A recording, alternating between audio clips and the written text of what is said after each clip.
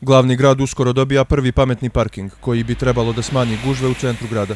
To je međutim tek prvi korak u realizaciji ideje Podgorica Smart City, zbog čega smo pitali Podgoričane da li znaju šta su pametni gradovi. Pametan grad znači...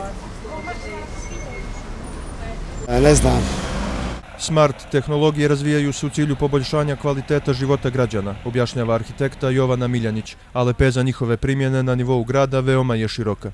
Kontrole protoka saobraćaja e, u određenom periodu dana kada dolazi do najvećeg zagušenja, E, kontrola emisije izduvnih gasova, e, dakle zaštita životne sredine. Jedan zanimljiv aspekt svakako jeste da je korisna alatka u procesu sanacije e, ili urbane regeneracije nastale problemima nedostatka planiranja, to je nekvalitetnog planiranja. Programer i preduzetnik Predrag Lešić podsjeća da se Crna Gora obavezala na primjenu Evropske digitalne agende, koja između ostalog predviđa i razvoj pametnih gradova. No to je teško sprovesti bez jasne strategije razvoja, ali i uključivanja građana u procese odlučivanja. Privatno javno partnerstvo kod pametnih gradova je uglavnom e, nekakav model koji je do sada najčešće eksploatisan i pokazao se jako efikasnim. Ono što je jako bitno u cijelom procesu do tog samog trenutka implementiranja tehnologija jeste e, učešće zajednice, učešće građana u mapiranju tih društvenih socijalnih problema.